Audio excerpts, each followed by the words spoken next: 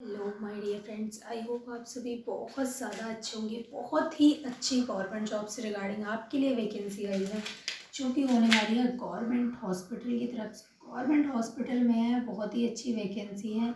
सभी लोग अप्लाई कर सकते हैं, चाहे आप टेंथ पास हैं, चाहे आप ट्वेल्थ पास हैं। इवन अगर आपने ग्रेजुएशन भी कर रखी है तो भी आप इस वैकेंसी के लिए अप्लाई कर पाएँगे। कुछ ज़्यादा एप्लीकेशन इतना ज़्यादा लफड़ेबाजी वाला नहीं है। और प्लस इसके अंदर एक और चीज़ है कि आपको इसमें कोई भी फ़ीस पे नहीं करनी है। एप्लीकेशन फ़ीस आपकी कुछ भी नहीं लगने वाली है। नो एप्लीकेशन फ़ीस है। सैलरी आपकी अच्छी खासी होने वाली है और काम भी कुछ ज़्यादा नहीं है। केवल आपको स्लिप काटनी है, जो कि रिसेप्शन होता है। रिसेप्शन पे जो हम स्लिप काटते हैं ना, जब मतलब पेशेंट को दिखवाना होता है तो वो स्लिप बनवा के लेके जाता है टोकन बनवा के लेके जाता है तो बस आपको स्लिप काटनी है। बहुत ही अच्छा है, सब कुछ बहुत अच्छा है डिटेल में बात करते हैं। फ़र्स्ट हम समझते हैं कि ऑर्गेनाइजेशन नेम क्या है तो गवर्नमेंट हॉस्पिटल की तरफ़ से है नेक्स्ट इसके अंदर पोस्ट क्या रहने वाली है। तो जो पेशेंट होते हैं, उनकी आपको स्लिप काटनी है, यानी कि उनका नंबर वगैरह, ये सब लगाना है कि आपको किस वार्ड में जाना है, वगैरह वगैरह। नेक्स्ट इसके अंदर वैकेंसी कितनी है तो वैकेंसी जो है, आपकी इसमें पाँच हज़ार से भी ज़्यादा वैकेंसी होने वाली है।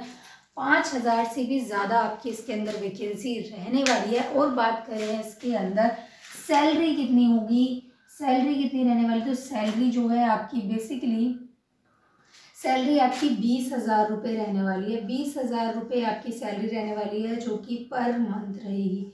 पर मंथ के हिसाब से आपके यहाँ पे सैलरी रहने वाली है। एंड नेक्स्ट हम देखेंगे इसके अंदर आपकी क्वालिफिकेशन कितनी होनी चाहिए। तो क्वालिफिकेशन जो है इतनी ज़्यादा नहीं मांगी गई है। क्वालिफिकेशन एकदम बेसिक है, जैसे कि मैंने आपको बताया था टेंथ पास हो ट्वेल्थ पास हो।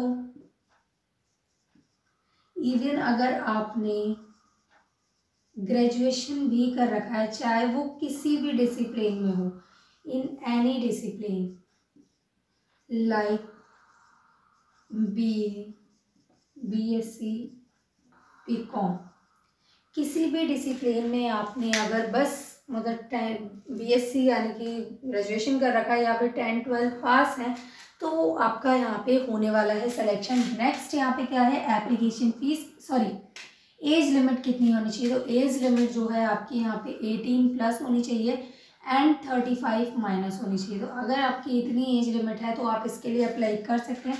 नेक्स्ट आपकी इसमें एप्लीकेशन फ़ीस कितनी लगने वाली? है तो कोई एप्लीकेशन फ़ीस आपकी यहाँ पे नहीं लगने वाली है।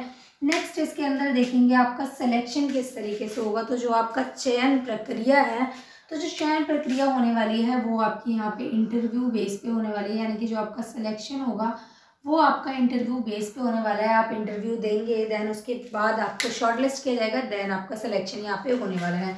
नेक्स्ट बात करेंगे इसके अंदर, अब आप इसके लिए अप्लाई कैसे करेंगे? तो आप इसके लिए जो अप्लाई है इसका जो ऑफलाइन पैटर्न रहने वाला है, क्योंकि ऑनलाइन नहीं है, किसी पर्टिकुलर स्टेट के लिए होने वाली है, और जिस पर्टिकुलर स्टेट के लिए वैकेंसी है, उसका नाम यहाँ पे है कर्नाटका। अगर आप कर्नाटका के, अगर आप कर्नाटका में रहते हैं तो आप इसके लिए अप्लाई कर सकते हैं कर्नाटका के लिए जो गवर्नमेंट हॉस्पिटल है वहाँ का तो उसमें आपका इसके लिए निकला हुआ है, आप यहाँ पे अप्लाई कर सकते हैं। इवन अगर आपने टेंथ कर रखी है ट्वेल्थ कर रखी है ग्रेजुएशन कर रखी है किसी में तो आप इसके लिए अप्लाई कर सकते हैं।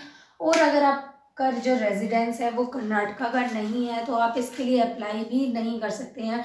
और अगर आप कर्नाटका के नहीं तो प्लीज़ ये वीडियो ज़्यादा से ज़्यादा लोगों को शेयर करिएगा, ताकि अगर आपकी कोई रिलेशन में कर्नाटका को तो उसके लिए वीडियो हेल्पफुल हो सकती है, क्योंकि वैकेंसी वगैरह काफ़ी ज़्यादा अच्छी है।